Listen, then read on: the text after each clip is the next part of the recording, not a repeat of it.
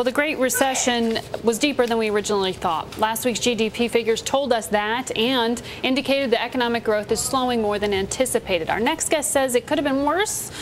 Well, Let's bring in Guy to get the latest read on economic figures that just crossed this morning. He joins us from Janney Montgomery Scott. So, uh, Mike McKee was just laying out what uh, the Fed chairman is saying today. He sounds more optimistic than the former Fed chairman in his comments over the weekend.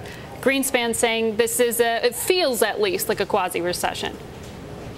Yeah, and I think Greenspan's comments certainly are true. You know, economic growth is slowing a little bit, but really what we see that as is a transition to the new normal. On the other hand, Bernanke's comments struck a certainly more optimistic note than he did in last week's Humphrey Hawkins testimony, and more than that, we're, we're sort of heading into the period of the August FOMC meeting. So it's particularly important to get an idea of his sentiment going to that meeting. Well, uh, the sentiment today, at least in the marketplace, seems to be reading today's manufacturing report as a positive. Even though it showed a decline, it was better than expectations. What's your reaction to ISM and to construction spending? Well, as far as the ISM number goes, it certainly was a little bit more positive than we are looking for, but the trajectory is still a little bit downward from where it was in the early portions of the economic recovery. And frankly, we think that reflects an industrial sector that's going to be pressured a little bit by reduced demand in Europe over the course of the next 12 months.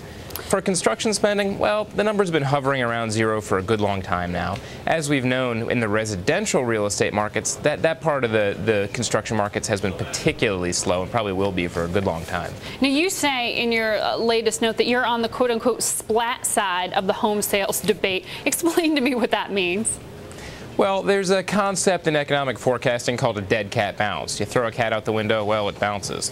And with the economics numbers with regard to the housing markets, what we're seeing is not so much a bounce as just a splat, not to get too graphic about the matter. And, and we really feel that that construction number is likely to persist for a few months more in here because, frankly, demand for new homes is just being far outweighed by demand for existing properties that are already move into today.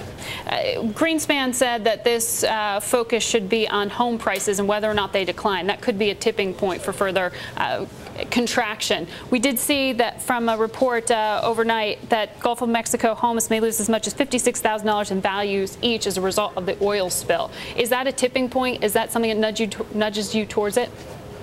Well, in and of itself, the Gulf of Mexico potential value loss is not really a tipping point because that's a relatively regional aspect. I, I, think the problem is bigger nationwide. If we have another home price decline across the country, well, that introduces a risk of increased mortgage foreclosures, even tougher to access credit markets, and I, I think that introduces the risk of a deeper spiral.